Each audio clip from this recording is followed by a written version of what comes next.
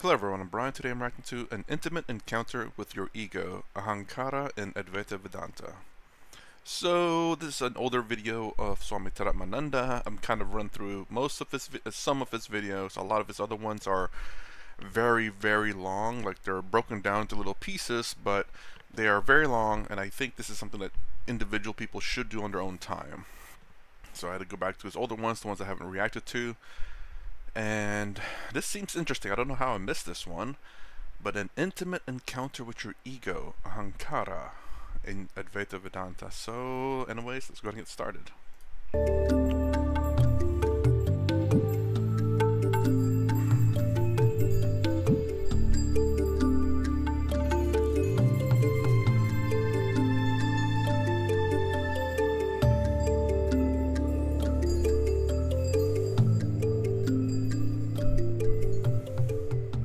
I'd like to introduce you to a character who is very strange but surprisingly familiar.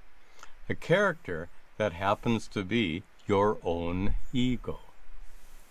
Not ego in the sense of pride or arrogance, but in a more fundamental sense. Actually, that's pretty true, though pride and arrogance, because again, in terms of Advaita, at least as far as I understand, in terms of Advaita Vedanta, ego is the false you, the you that wants to be alive, that wants to be, I am the real deal, which is prideful and arrogance. but funny enough, it, in in I guess in a lot of terms, ego is pride and arrogance, and in terms of Advaita Vedanta, in a lot of sense, it is pride and arrogance too, because while it's a it's a false I that wants to be the big I, that wants to fool you to say, to pretend to thinking it's the real I. Very prideful of itself and very arrogant to think that way. As your inborn sense of individuality. The word ego, as you know, is actually the Latin pronoun I. And here it means your inner I, your feeling of I ness Ego is a thought that represents you. It's the I thought in your mind. The simplest way to identify it is to notice what happens when your ego is not present. Think about a time when you were enjoying your favorite kind of music and you found yourself getting lost in an enchanting tune becoming deeply absorbed in its delightful melodies. While you were lost in that sublime experience, could you still hear the music? Yes, of course, because you were still there. So then, who is it that got lost in the music? It was your ego that got lost. Your ego temporarily disappeared while you were absorbed in that powerful experience. And in the absence of your ego, you felt different. You weren't aware of your physical body. You didn't feel your usual sense of being an individual person with a name, a birthday, and a lifelong history. Your sense of personal identity had vanished for the time being would this be considered like a temporary, a temporary, temporarily, in, temporal, temporal, no, temporary, temporary enlightenment? Good lord. temporary enlightenment? Then, when that state of blissful absorption faded away, your ego returned to its usual dwelling place in your mind, and you felt your personal identity return. So, ego is your sense of individuality, your feeling of being an individual person. To make all this more clear, let's hear from your ego itself, from its place of residence inside the vast expanse of your mind.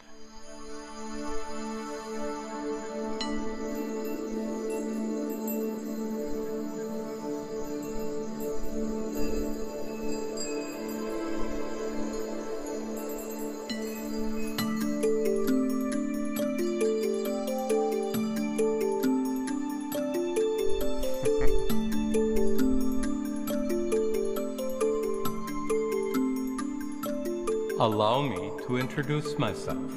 I am your ego. I am the voice in your mind that says I. In Sanskrit, I am called Ahankara, which literally means I maker. So, technically speaking, I am the particular activity in your mind that's responsible for your feeling of I ness, your feeling of individuality. Mental activities like me don't have physical form, shape, or color, so this image of me here is merely a product of Swami Tadatmananda's overactive imagination. I'm stuck here inside your mind, which is like an enormous chamber. Lining its walls are all the compartments where your memories are stored.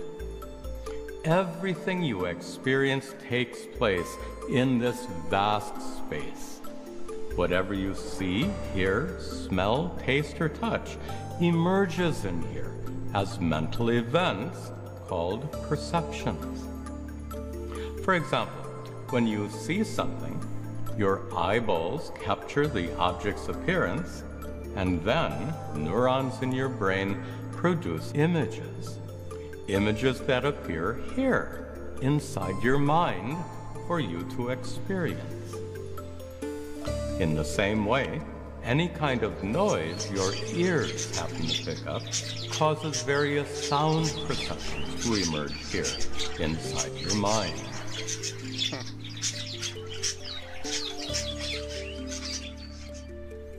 Everything you perceive with your five senses emerges in your mind in the form of mental events. And as each mental event emerges, it's immediately experienced by you. You are aware or conscious of what's happening in every corner of your mind, in every nook and cranny, so to speak, because your mind is permeated by awareness. Your mind is completely filled with conscious awareness like a room that's completely filled with light shining from a bright lamp. In ancient India, the rishis, or sages, discovered that the consciousness shining in your mind is your true self, your essential nature, the inner divinity. They said consciousness is the unchanging light of awareness by which you know or experience all the changing activities in your mind. And just like the sun is utterly unaffected by all it shines upon, in the same way, consciousness is utterly unaffected by whatever it illumines.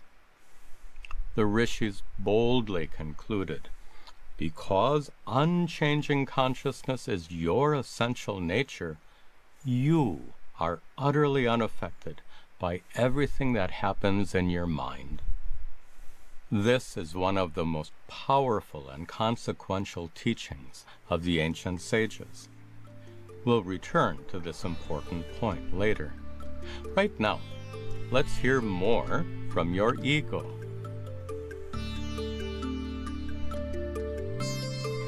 Now, you might ask, what is my role in this complicated process of sense perception?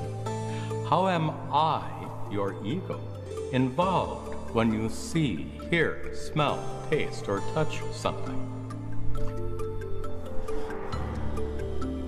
Well, when you see a flower, you have the experience, I see the flower. In the sentence, there's an object, flower, and a subject, I. These correspond to two different mental events here in your mind. One is the flower thought, and the other is the subject, the I thought. That I is me, your ego. Whenever you perceive something, I am present in that experience as your sense of individuality. When the doorbell rings, you have the experience, I, an individual person, hear the doorbell. When you smell freshly baked bread, you have the experience, I, an individual person, smell the bread. In each case, I am present along with the objects you perceive. So, your experience of an object has two parts. One consists of all the sensations produced by the object, and the other part is me, your ego, your feeling of being an individual person.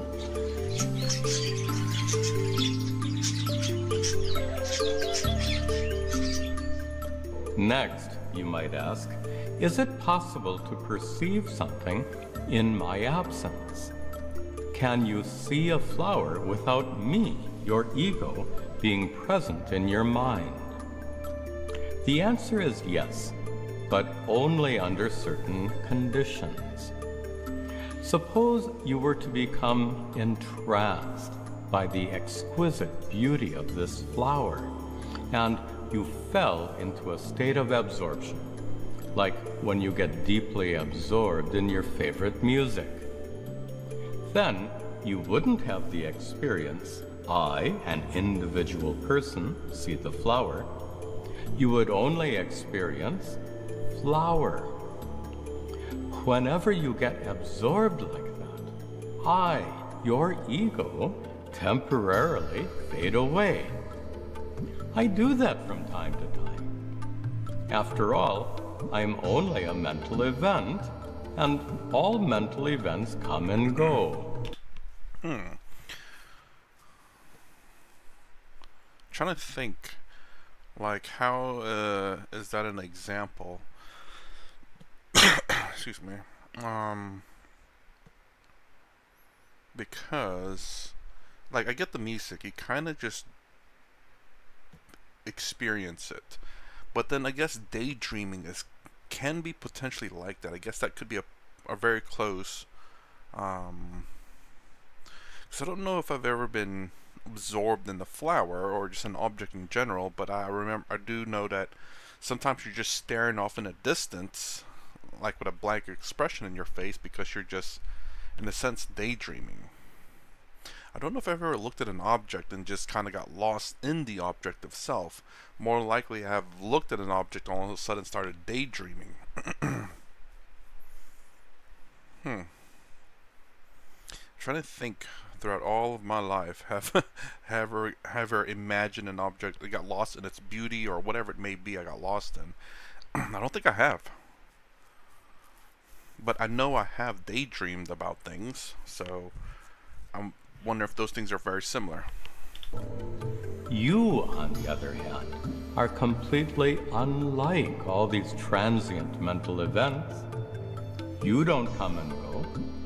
You constantly illumine whatever is happening in this vast mind of yours, even when you are deeply absorbed or sleeping soundly.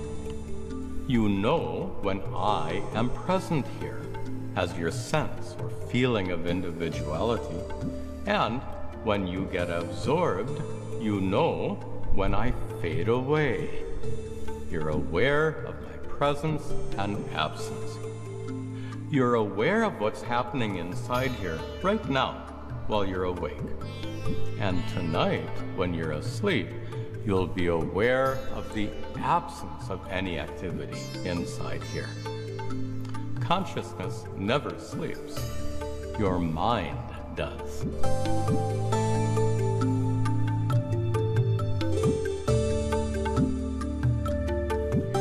So far, we've only discussed sense perception, when things you see, hear, smell, taste, and touch emerge as mental events in your mind. But in addition to these perceptions, you also experience other kinds of mental events, like cognitions and emotions. Those mental events are not produced by your five senses. they're produced by your mind itself. Let's consider your cognitions first. Some cognitions are abstract and conceptual, like when you ponder the meaning of life. But others are detailed and practical, like when you make a list of items to purchase at the market. While those cognitions are coming and going in your mind, your ego is also present. While you ponder the meaning of life, or while you're making up a shopping list, you still feel like an individual person. You feel the sense of I-ness because of the presence of your ego. Now, what about your emotions? Emotions emerge in your mind just like cognitions and perceptions. As soon as they emerge, you become aware of them. And while various emotions come and go in your mind, your ego is constantly present along with them. When you say, I am happy or I am sad, the I you're referring to is actually your ego, your I thought, which is present as your sense of being an individual person who feels happy or sad.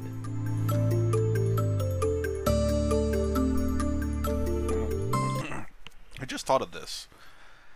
Could it be possible that your your your true self is talking about your ego?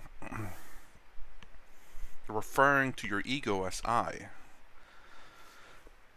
or yeah, I think so. Or hmm. trying to think. I feel lonely, as in your your true self is saying, "I am lonely," because uh, the body that you're in is lonely. I know this is making things a little bit more complicated.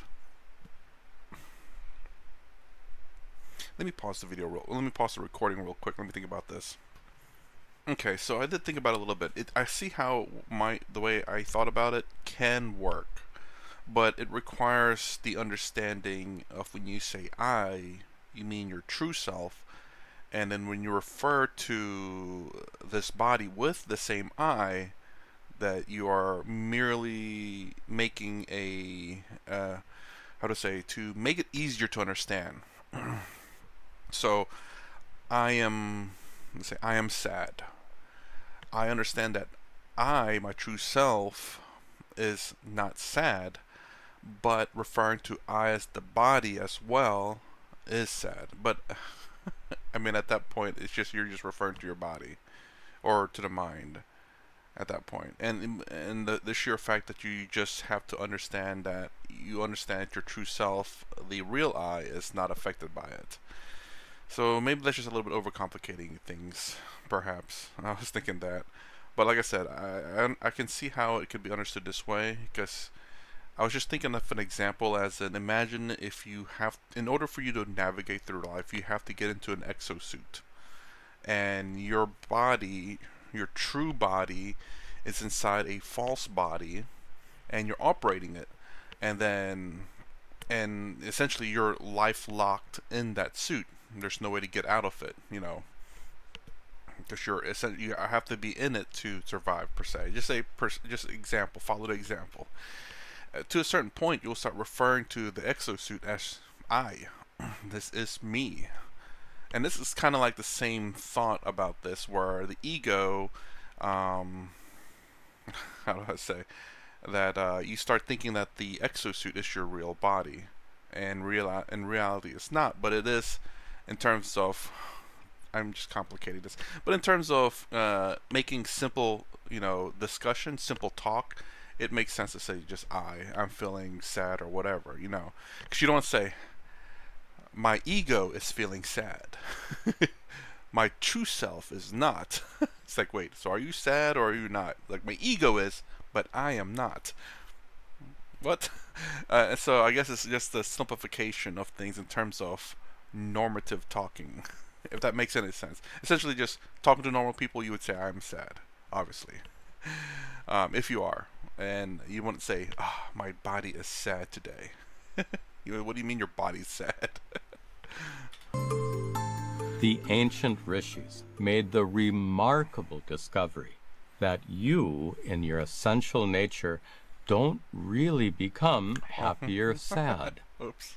You are the awareness or consciousness that illumines everything in your mind, including your emotions of happiness and sadness.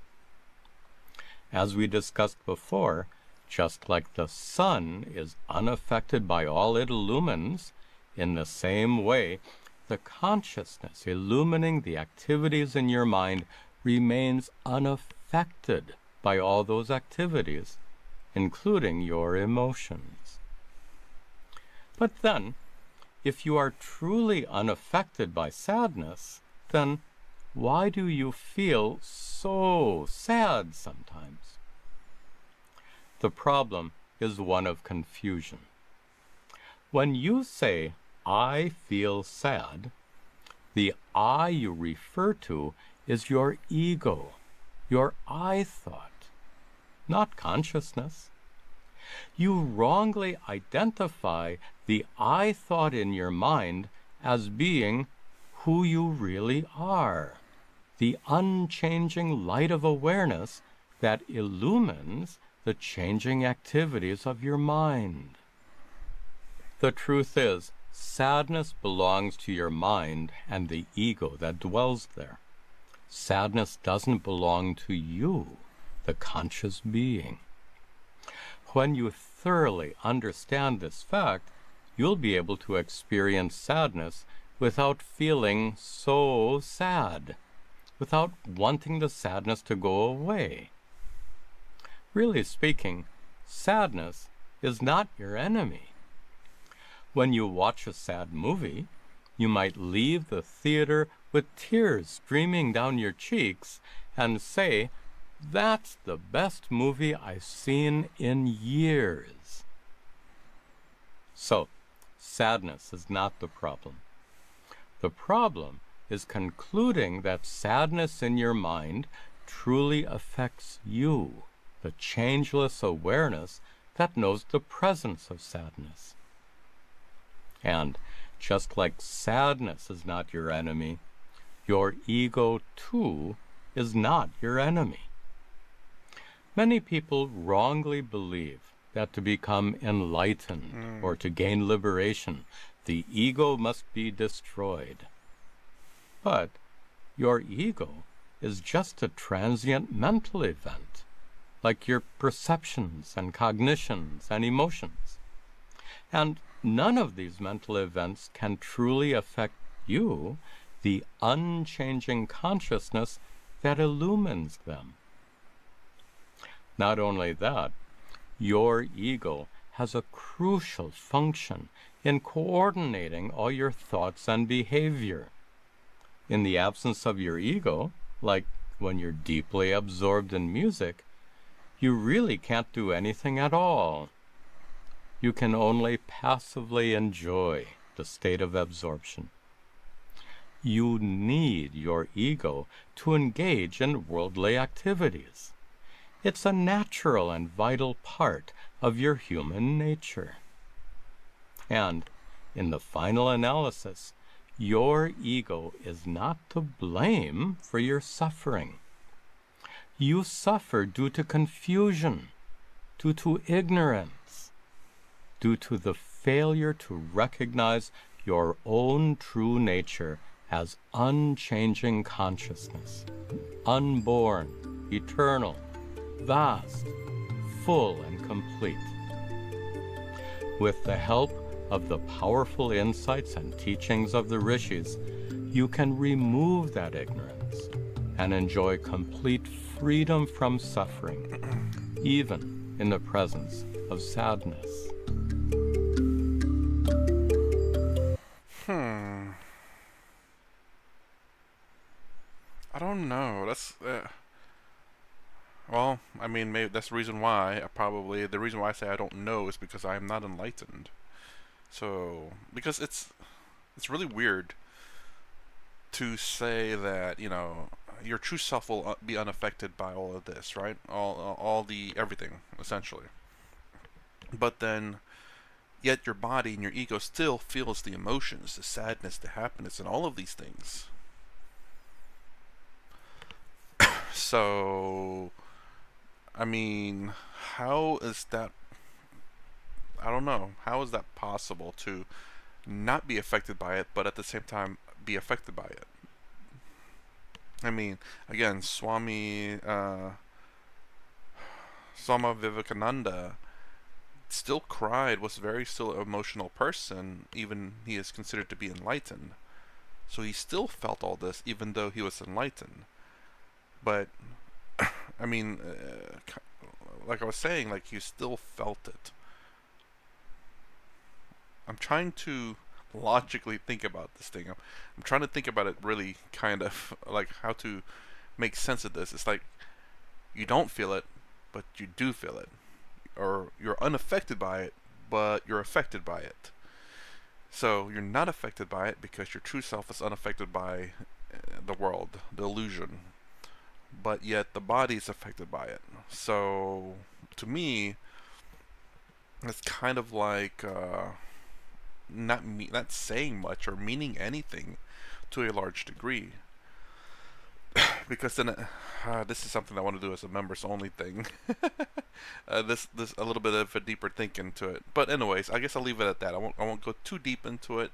But how is it that you are unaffected by it, but you're affected by it? And I, I understand the idea behind it, but I guess grasping the full concept of it is very foreign to me. And there is a and there's an idea for me to say it's pointless. I won't go any deeper than that. I will leave it at hanging right there. Uh, something I do want to discuss in my members only channel, which I do I am starting it up, but I do have one video on there, which is my 23andMe. The video kind of sucks, but I do read at least I read everything out. So. Uh, I need to find out how to record video, uh, YouTube videos or websites better on OBS. Um, anyways, uh, and to go a deeper, a deeper understanding, a deeper delve into these ideas. Because uh, uh, in the regular channel, I want to say a little bit. I don't want to speak too much. I know a lot of people complain about me speaking too much, but again, it's a React channel. You you have to understand that if you want to watch the if please, if you haven't watched the original video, go watch it in the original channel. Don't watch it on my channel. and understand that you are watching a React channel, so you have to, in some degree, accept that it's a React channel and people are going to react a little bit differently. And I get it. I mean, do do voice your opinions, absolutely, because sometimes, like I said, I, I did talk a lot mind you, the video's over with, so I'm going to talk a lot now. This is my this is my free time to talk, but um, I did talk a lot in the video, so I did want to kind of narrow it down because I want to really focus a little bit in the video and speak a little more directly about the subject matters in the video. And the members only one is going to be delving a little bit deeper in very particular subjects, and I hope that I have at least a one video every month and then perhaps another video responding to comments or maybe getting a little bit deeper depending on the comments on those videos. So in that's my reaction to an intimate encounter with your ego, Ahankara and Advaita Vedanta. If you like my content, please consider subscribing, thumbs up, the sound down below. Thanks for watching. I will see you in the next vid.